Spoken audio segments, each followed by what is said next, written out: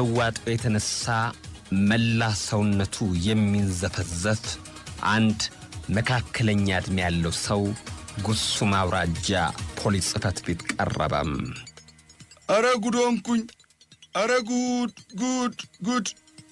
እባካችሁ ሚስቴ ወደ ገበያ ስትሄድ አንበሳ በላብኝ።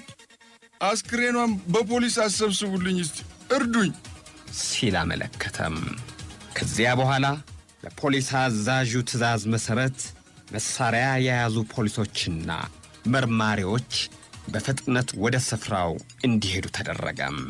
ፖሊሶቹ ከጫካ ውስጥ እንደደረሱ ያገኙት ነገር ከሟቿ አካል ጥቂቱን ብቻ ነበረም። ጫካውንም ካሰሱ በኋላ በዚያ አካባቢ አንድም አውሬ አላገኙም። የሟቿን የአካል ቁርጥራጭ ከሰበሰቡበት አካባቢ ሌላ ምልክት አልተገኘም።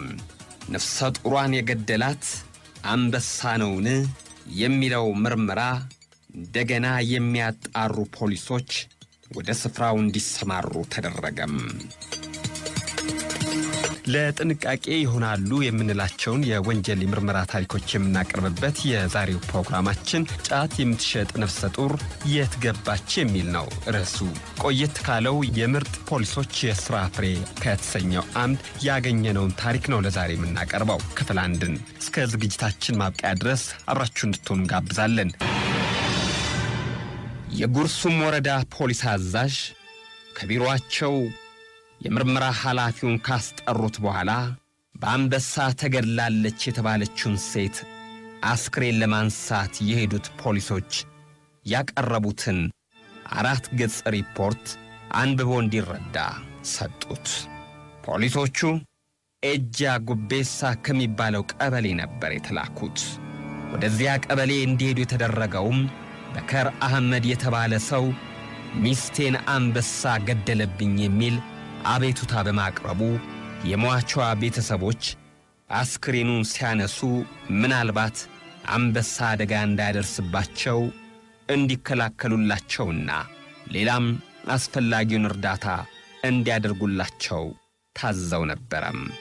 በዚህ ትዕዛዝ መሠረት ወደ ጉርሱም የተላኩት ፖሊሶች ሪፖርት አቅርበው ነበረም። የሟቹ አስክሬን ከተገኘበት ቦታ የደረሱት እኩለ ቀን ላይ ሲሆን በዚያ አካባቢ አንድም ሰው አልነበረም። የሟቿን አስክሬን የተገኘው ከየቁጥቋጦ ስር በመሆኑ ከያለበት ለቅመው በአንድ ሰብስበውታል። የሟቿን ከአንገት በላይ አካል በአንድ ስፍራ እንደ ተሟላ አግኝተውታል። የሟቿ አስክሬን ከተገኘበት ስፍራ ጥቂት እልፍ ብሎ በሰፊው መሬት ላይ የተንጣለለ ጫካ አለም። ከጫካው ግራና ቀኝ አንዳንድ የቡና ገበሬዎች በእርሻቸው ውስጥ ተሰማርተው ይታያሉ።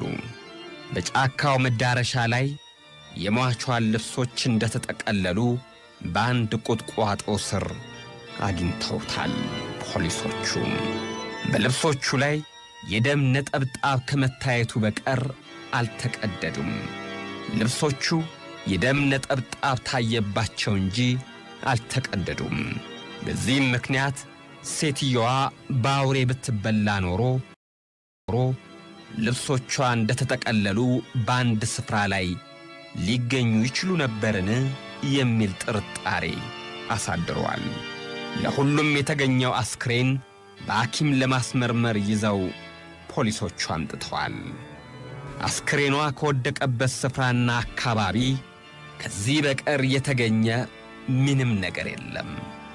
ይህን ጉዳይ በጥብቅ ተመርምሮ የሴትየዋ በአንበሳ መበላት መረጋገጥ ይኖርበታል ይላል ፖሊሶቹ ያቀረቡት ሪፖርት።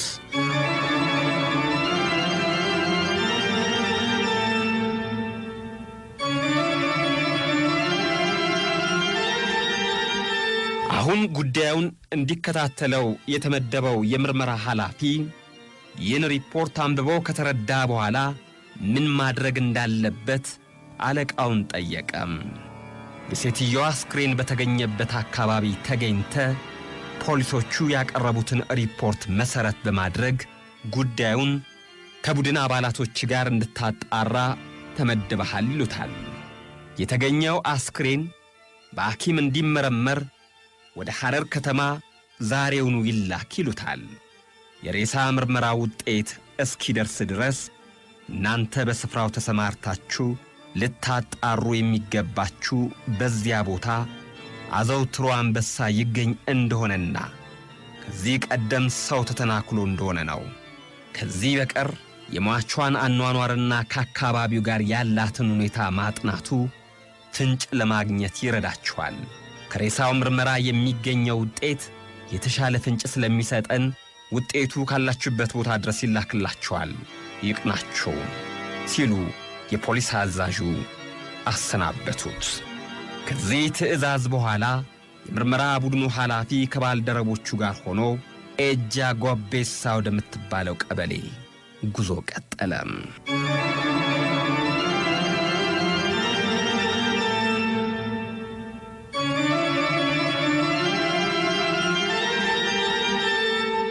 ኤጃ ጎቤሳ የምትባለው ቀበሌ የምትገኘው በጉርሱም ወረዳ ውስጥ ነው።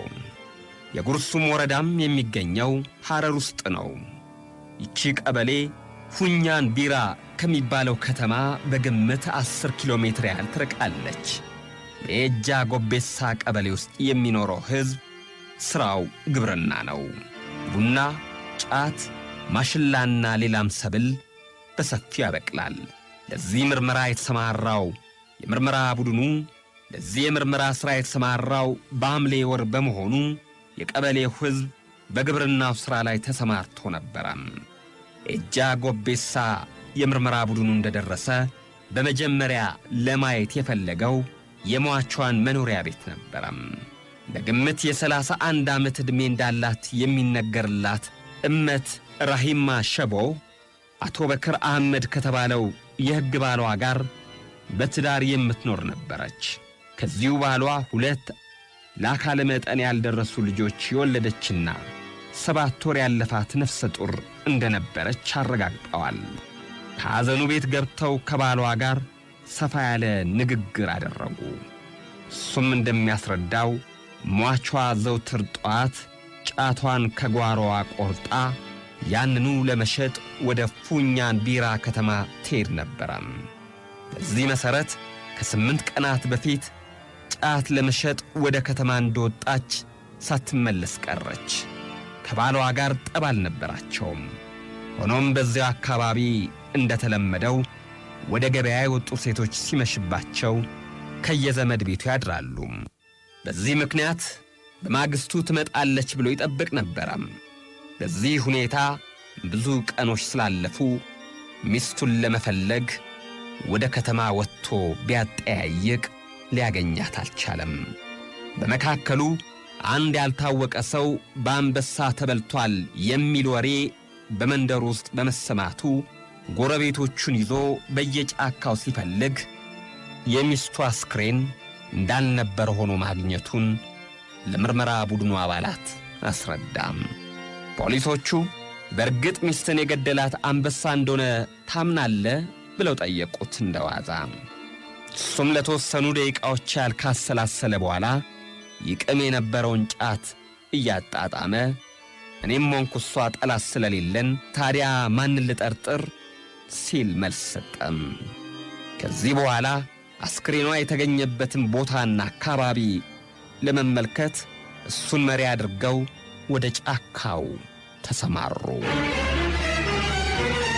በዕለቱ ኃይለኛ ዝናብ ከጣለ በኋላ ፀሐይ ስለፈነጠቀች ገበሬዎች በሬዎቻቸውን ጠምደው የሚያርሱበት ጊዜ ነበረም። ለፖሊሶቹ ግምት ሴትዮዋ በመጀመሪያ በአውሬ በተያዘችበት ወይም በተገደለችበት አካባቢ ብዙ ደም ፈሶ እናገኛለን የሚል ተስፋ ነበራቸው። የሟቿ አስክሬን የተገኘበትን ቦታ ካዩ በኋላ በአካባቢው ጠንካራ ፍለጋ አደረጉ። ሆኖም የሚፈልጉትን ምልክት አላገኙም። የአካባቢውን ሁኔታ ለማጥናት ብዙ አጋጣሚ ነገሮች አመቻችተውላቸዋል። የሟቿ አስክሬን በተገኘ ለመጀመሪያ ያነጋገሩት አህመድ የሱፍ የተባለው ገበሬ ነበረ። አህመድ መካከለኛ ዕድሜ ያለውና በኑሮውም መጠነኛ የሆነ ነው። ሟቿን ያውቃት እንደነበረም ነግሯቸዋል።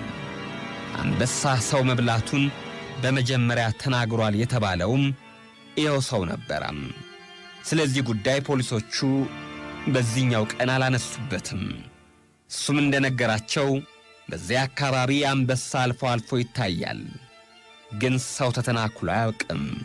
በአካባቢው የውሃ ምንጭ ስላለ አንበሳው የሚመጣው ውሃ ፍለጋ ነው ይባላል። መሸት ሲል በአካባቢው ጅቦችና ሌላም አውሬዎች በብዛት ሲጮህ ይሰማል። እንዲያውም የሟቿ አስክሬን በተገኘበት አካባቢ የብዙ ጅብ አጉዳ ወይም ዱካ እንጂ ያንበሳ አልነበረም። ከአንዳንድ የአካባቢው ነዋሪዎች ፖሊሶቹ ለመረዳት እንደቻሉት የሟቿ አስክሬን የተበላው በጅብ ብቻ ለመሆኑ አንዳንድ ምልክቶች ነግሯቸዋል። ከምልክቶቹ አንዱ አጽሞቹ በየቦታው ተበታትነው በየጉድጓዱ ውስጥ መገኘታቸው ነው።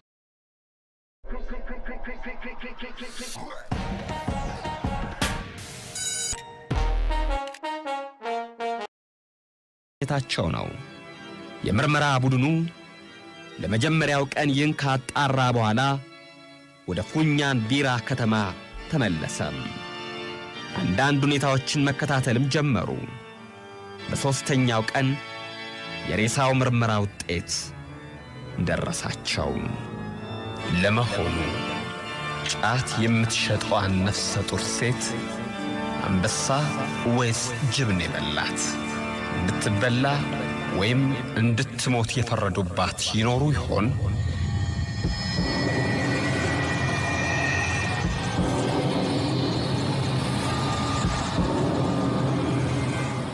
የምርመራ ውጤቱ እንደሚገልጸው ሟቿ ስለት ባለው ጠንካራ ነገር ተጎድታለች።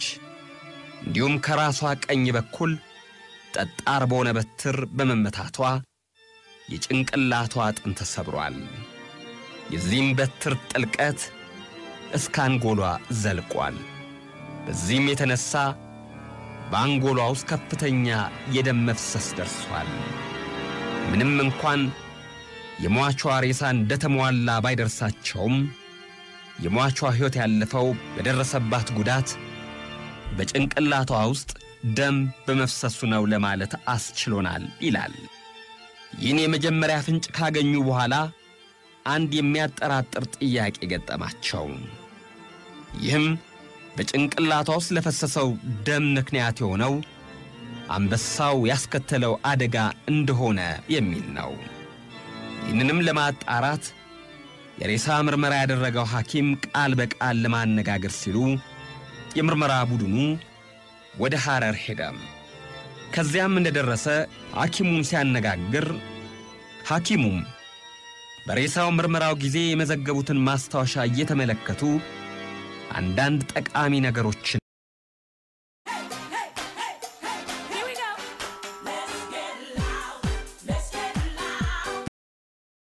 ነገሮችን ለምርመራ ኃላፊ አስረዱት። መርማሪው ከሐኪሙ እንደተረዳው በራስ ቅሏ ውስጥ የፈሰሰው ደም ከአውሬው አደጋ ጋር ሊገናኝ አይችልም። በአንጻሩ ከግድግዳቸው ላይ በተሰቀለው ስዕል የሚታዩትን የሰው የውስጥ አካል አሰራር የነርቭና የደም መመላለሻ ቦዮችን ወይም ደም ስሮችን አሰራራቸውና ግንኙነቱን እየጠቆሙ አስረዱት። በአንጎሉ አካባቢ ያለው አካል አደጋን ለመከላከል ምን ያህል ጠንካራ እንደሆነና ነገር ግን እንደ አጋጣሚ ከፍተኛ ኃይል ሲደርስበት በፍጥነት ሊጎዳ እንደሚችል መርማሪው ተገነዘበም። ለዚህም ምክንያት ሟቿ ከአውሬው ጋር ስትታገል በሚደርስባት መንገላታት ብቻ በጭንቅላቷ ውስጥ የሚገኘው ደም መመላለሻ ሊጎዳ እንደማይችልና የሴትዮዋን የራስ ቅል የመታው ሊሆነኝ ተብሎ የተሰነዘረ ሌላ ኃይል መሆኑ ተነግሮት ተመለሰም። ከዚህ በኋላ ነፍሰ ጡሯን የገደላት አንበሳ ነውን የሚለው ጥርጣሬ መነሻ እዚህ ላይ ተዘጋ። ሬይማን በሰው እጅ ተገድላ በጫካ ውስጥ በመጣሏ ሬሳዋን አውሬ በልቶታል የሚለው ፍንጭ መሠረት አድርገው የምርመራ ቡድኑ አባላት ምርመራቸውን በሰፊው ቀጠሉ።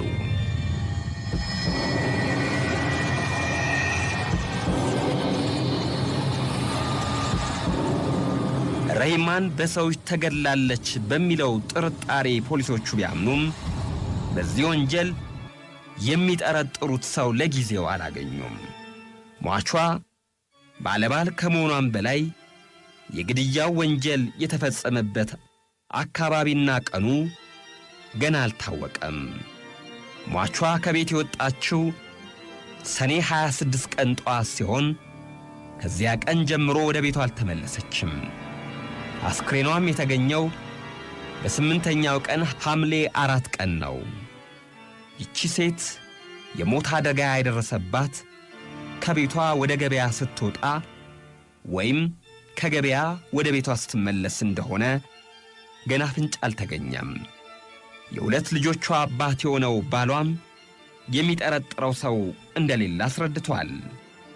ይህም በመሆኑ የረሂማንን አሟሟትና የገደላትን ሰው ለማወቅ ከመኖሪያ ቤቷ ጀምሮ እስከ ፉኛን ቢራ ከተማ ድረስ ያሉትን ሁኔታዎች ማጥናትና መመርመር ለምርመራ ቡድኑ አባላት የግድ ነው። በዚህም ጊዜ ቢሆን በሚስቱ መሞት ሐዘን ያኮራመተውን ባሏንም ማተኮር ነበረባቸው።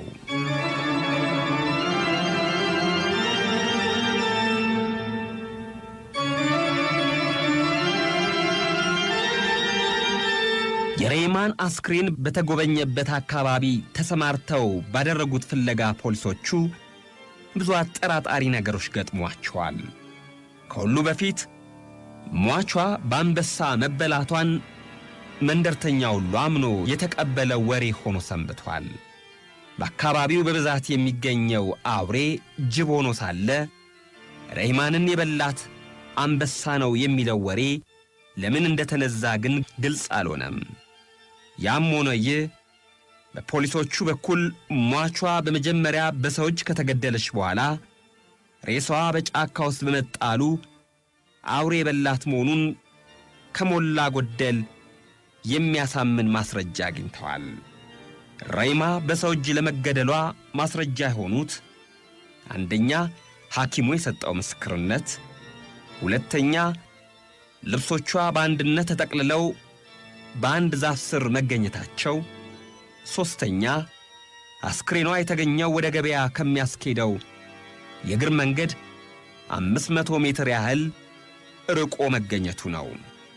የመጀመሪያው የምርመራ እርምጃ ሟቿ በሰው እጅ መገደሏን የሚያረጋግጡ ውጤቶች ባያስገኙም የወደፊቱ ከፍተኛው ጥረታቸው ለፖሊሶቹ ሬይማንን ማን ገደላት የሚለው ምርመራ ውጤት ማስገኘት ይሆናል። ይህን ምርመራ ለማጣራት ደግሞ ብዙ ጥቃቅን ነገሮች አንድ በአንድ ማየት ያስፈልጋል። በመጀመሪያው ሳምንት የሬይማን አሟሟት ምርመራ በሚከታተሉበት ጊዜ ብዙ ጠቃሚ ነገሮችን ሰብስበዋል። ሟቿ ወደ ገበያ ስትሄድ አብረዋት የሚሄዱት የመንደሩ ሴቶችን እንዲሁም የሟቿን ሕይወትን አጥንተዋል።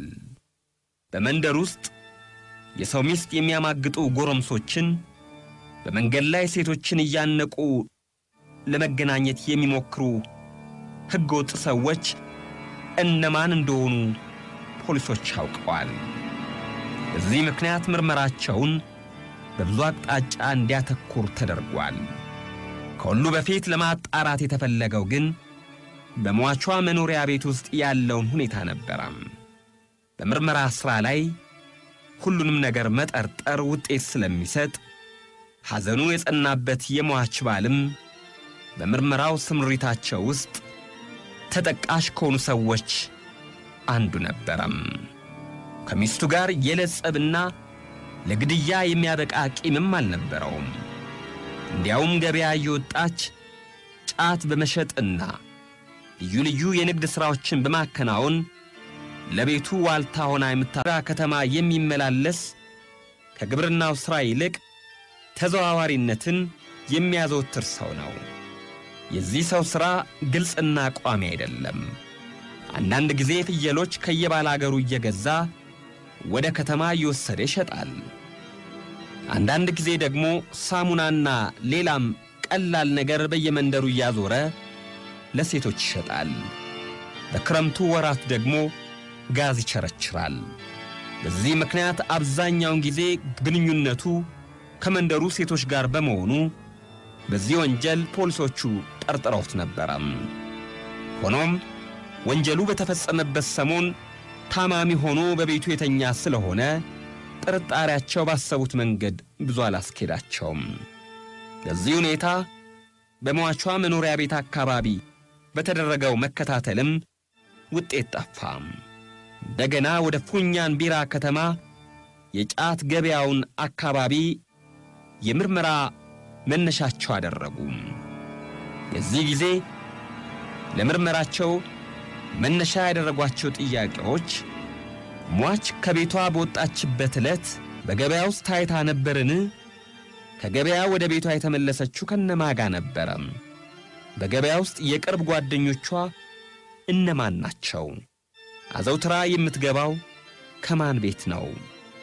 የሚሉ ናቸው።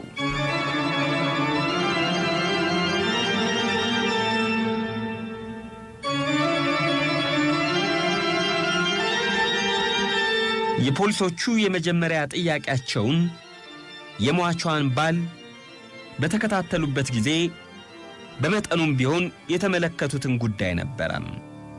ሟቿ ሬማ ከቤቷ የወጣችው ሰኔ 26 ቀን ከጠዋቱ አንድ ሰዓት ላይ መሆኑን ባሏና ጎረቤቶቿ ቢያረጋግጡም ከቤቷ ስትነሳ አብሯት ሰው አልነበረም። በመንገድ ላይም ከማ ጋር እንደነበረች የሚያስረዳ ሰው አላገኙም። ሆኖም በዚያ ዕለት በገበያ መዋዋሏን ማረጋገጥና ከነማ ጋር እንደተመለሰች ማወቅ ለዚህ ምርመራ ፍንጭ የሚሰጥ እርምጃ መሆኑ ግልጽ ስለነበረ ይህንኑ አቅጣጫ ጠንከር ባለ ሁኔታ ተከታተሉት። በገበያ ውስጥ ከሟቿ ጋር ጫት የሚሸጡ በርከት ያሉ ሴቶች ነበሩ። እነዚህም ሴቶች ምናልባት በጥቅም ምክንያት አስገድለዋት ይሆናል የሚል ጥርጣሬ ነበረ። ሆኖም በቅርብ የሚያውቋትና የሚግባቧት አንዲት አሮጊት እንደገለጹት ሟቿ ከማናቸውም ጋር ጸብ አልነበራትም። ተግባቢ፣ ደግና ዝምተኛ ነበረች። ከቤት በወጣችበት በሰኔ 26ኛው ቀንም በገበያ ውስጥ መዋሏን ገልጸዋል። እኙ ሴት ሴትዮዋ እንደሚሉት ሟቿ ወደ ገበያ ይዛ የወጣችውን ጫት ሽጣ የጨረሰችው በጊዜ ነበረ። ወደ ገበያ በምትወጣበት ጊዜ በመንገዱ ላይ አንድ ገበሬ ጫት በዱቤ ገዝቷት እንደነበረና ይህም ሰው ገንዘቡን ከገበያ ስትመለሺ ትወስጃለሽ ስላላት ይህንኑ ለመቀበል እሄዳለሁ በማለት ቀደም ብላ ከገበያ መነሳቷን ነግራኛለች ሲሉ ለፖሊስ ገለጹ። ለመሆኑ ነፍሰ ጡሯ ሬማ ወደ ገበያ ስትሄድ በዱቤ ጫት የሸጠችለት ገበሬ ማን ነው?